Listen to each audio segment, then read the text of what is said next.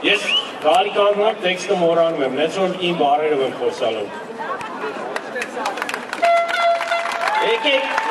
մի հատ հետ նայենք, տեսնենք ինչ եղավ սահմանադրական դատարանում։ Աննախադեպ բան եղավ։ Ուրեմն սահմանադրական դատարանը որոշում կայացրեց ժողովրդի օգտին։ Ու այդ մեր երկրի կառուցման առաջի քայլերն են ժողովուրդ։ Դուք հիշում եք, չէ՞ քանի թերթ էր։ Կարելի ասել որոշումը մի գիրք էր։ Այս մարդիկ 10 տարի, իրանք 10 տարի գործ էին անում, 10 տարի մեր Հակոբը լավ ասում, գիգանտներ են բերել, որ այդ օրենքը մշակեն։ Ինչ ստացվեց, համանadrական դատանը ինչ արեց։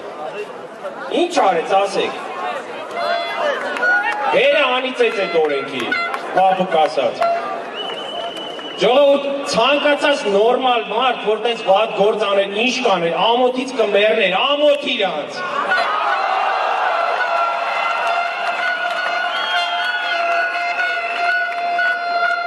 Հիմա իրանք ինչ են անում, վերցնում են այդ ամբողջ գիրքը, այդ որոշումը գիրքը, 10 տողը կարդում են 7-րդ կետի, մեկնաբանում են իրանց ուզածով ու ինչ են ուզում անում, ուզում են ռեկետ անել, ամոթ իրանց։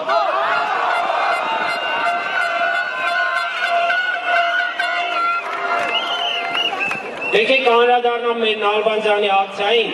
շատ հզոր էր ժողովուրդ, նա ամենահզորը հիգական սերի ներկայացուցիչներն էին ու 60%-ն էին մեր։ Կեցեք։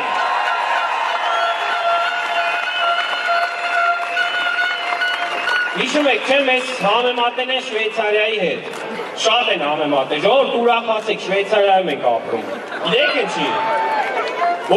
որտեղ հանցագործություն չկա, դատախազությունը մեր հետևից անգ է, ասնի վարկատուների հետևից։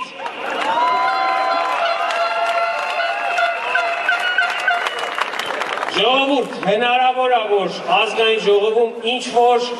քննարկում լինի, որ կասեցնեն այս ամեն անօրինությունները, ես չգիտեմ, հնարավոր է։ Ես ձեզ բոլորիդ հորդորում եմ, ուշադիր եղեք եւ հենց այդ որոշումը լինի, մենք ձեզ կտեղեկացնենք բոլորովս գնալու ենք ազգային ժողովի մոտ, որ մեր օգտին քվեարկեն։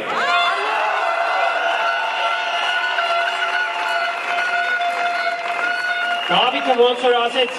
վերևից շատ դժվար է ձեր հետ խոսալ, ես հեսա խոսալու եմ իջնել ներքև։ Կեցե պայքարով քաղաքացին, հաղթելու